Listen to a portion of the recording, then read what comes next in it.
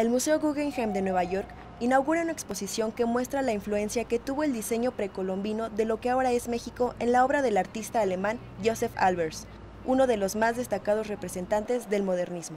Titulada Joseph Albers en México, la exposición presenta una selección de pinturas rara vez mostradas, collage, lienzos icónicos de sus homenajes a la forma del cuadrado, partes de sus series inspiradas en las construcciones de adobe y fotografías nunca antes exhibidas. La exposición revela la profunda influencia que tuvieron las 14 visitas que Albers, en compañía de su esposa, la artista Annie Albers, hizo a sitios arqueológicos mexicanos a partir de la década de 1930 y hasta mediados de la década de 1960.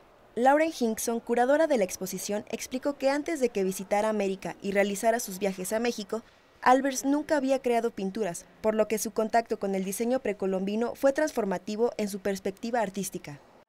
Albers traveled to Mexico 14 times from the early mid 1930s to the late 1960s. And what was important about what he saw there was that um, he encountered the Mesoamerican archaeological sites of the Aztecs and the Mayans, and the abstract forms on the facades, the plans of the pyramids inspired the geometric development of his painting practice. Because before he arrived in the US and before he traveled to Mexico, he had not done many paintings. La exposición revela una faceta poco explorada del artista bien conocido, así como las raíces no occidentales en la práctica de uno de los creadores pilares del modernismo abstracto europeo.